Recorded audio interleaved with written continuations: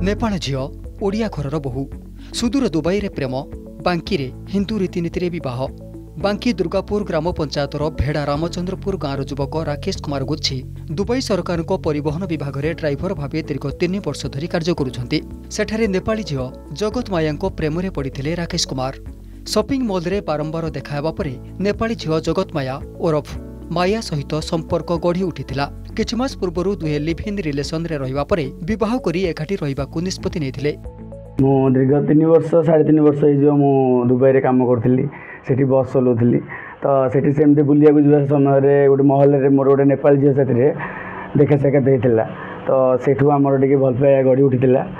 तो आम दिजन जगह कथबार्ता परस्पर को आम व्यवहार करिया बोली बहुत खुशी है बहुत खुशी है तो नहीं अंडरस्टैंड दोनों में अंडरस्टैंड है अच्छा है उड़ीसा बहुत अच्छा है बहुत भलो है अभी मैं पंद्रह दिन रहती हूँ इधर अगस्त पंद्रह तक रहती में जाएगी ରାକେଶ ନେପାଳୀ ଝିଅଙ୍କୁ ବିବାହ କରିବାକୁ ନିଷ୍ପତ୍ତି ନେବା ପରେ ନିଜ ପରିବାର ଲୋକଙ୍କୁ ଜଣାଇଥିଲେ ପରିବାର ଓ ଗ୍ରାମବାସୀଙ୍କ ସହଯୋଗରେ ନିଜ ଗ୍ରାମ ଠାକୁରାଣୀଙ୍କ ପୀଠରେ ବିବାହଘର ହୋଇଥିଲା।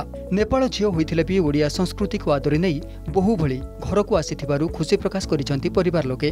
ଆସନ୍ତା ମାସରେ ନବବିବାହିତ ଦମ୍ପତି ପୁଣି ନିଜ କର୍ମକ୍ଷେତ୍ର ଦୁବାଇକୁ ଫେରିଯିବେ ବୋଲି ପରିବାର ଲୋକେ କହିଛନ୍ତି। ଭଲ କଥାବାର୍ତ୍ତା ସ୍ନେହ ହଁ ମିଶିଲା। ହଁ ଓଡ଼ିଆରେ କଥା ବୁଝୁଛନ୍ତି ସବୁ ଓଡ଼ିଆ କଥା ବୁଝୁଛନ୍ତି। ଓଡ଼ିଆରେ ବି କଥା ହେଉଛନ୍ତି ଅଳ୍ପ ଅଳ୍ପ। କେମିତି ଆପଣ ନେଉଛନ୍ତି ଆପଣ ନେଉଛନ୍ତି ହଁ ଭଲ। ଉଭୟ ଦମ୍ପତି ସମାଜକୁ ବାର୍ତ୍ତା ଦେଇଛନ୍ତି। ଯାହାକୁ ଭଲ ପାଉଛନ୍ତି ଶେଷ ପର୍ଯ୍ୟନ୍ତ ତାର ହାତ ଛାଡ଼ନ୍ତୁ ନାହିଁ। ବିବାହ ବନ୍ଧନ ବାନ୍ଧି ହୋଇ ତାର ବିଶ୍ୱାସକୁ ବିଜୟ ଲାଭ କରନ୍ତୁ।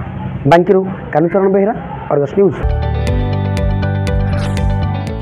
ଯଦି ଆପଣଙ୍କୁ ଆମ ଭିଡ଼ିଓଟି ଭଲ ଲାଗିଲା ତେବେ ଆମ ଚ୍ୟାନେଲକୁ ଲାଇକ୍ ସେୟାର ଓ ସବସ୍କ୍ରାଇବ୍ କରିବାକୁ ଜମା ବି ଭୁଲନ୍ତୁ ନାହିଁ।